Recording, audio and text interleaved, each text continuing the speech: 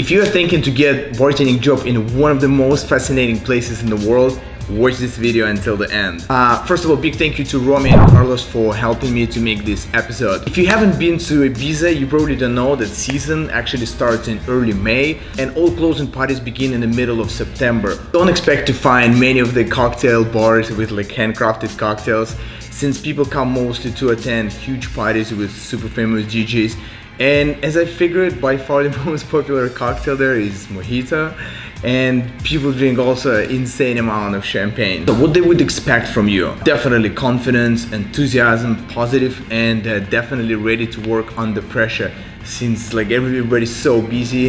If you want to work in the club, not in a restaurant though if you are more or less qualified bartender and with good resume, it shouldn't be too hard to find a job since there are uh, not many skilled bartenders as I've been told.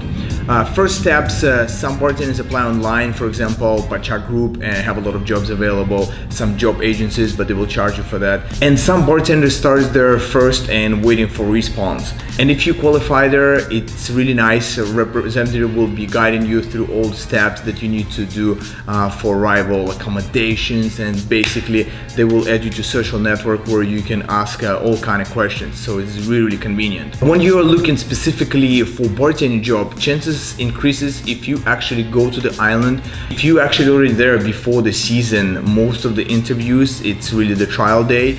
But again, if you have decent experience and it shouldn't be so hard to find a job since level is not so high. Accommodations, a great thing that clubs, bars, resorts often they are actually offering uh, their own accommodations but eventually you can get your own for like a pretty decent price. I heard it's uh, not super expensive. You can get for around like 500 euro uh, your own room. Maybe sometimes it will be shared with one person but i still think it's not too bad. Don't expect to get the best job right away but instead you can find something like simple being maybe an extra bartender. Keep applying for different positions at the top clubs like carlos did and now he's actually working probably one of the best places in Ibiza. It's called Ushuaia. It's absolutely fantastic, like a beach club resort. Good news, Ibiza is definitely a great place to make money. Some places include service charge, which is big extra since there are a lot of tourists who actually used to tipping bartenders and services so it's a big big plus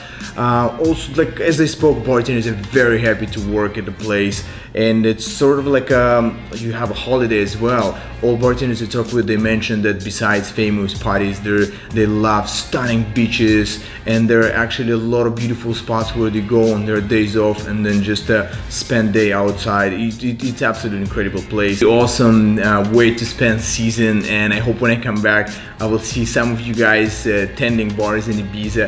Uh, but keep in mind it also not maybe the best place to become a better bartender like increase your knowledge in cocktails just it, it's definitely not like you being a bartender in London or New York where you can go get inspired in different places. No, this one is more like for like high volume, uh, really really fast uh, uh, mixing drinks and simple cocktails. Some of the bars of course have uh, uh, cocktail menus, but mostly it's just simple drinks. So thank you guys for staying until the end. And if you enjoyed it, please consider subscribing, hit the like button like this, and I will see you next week.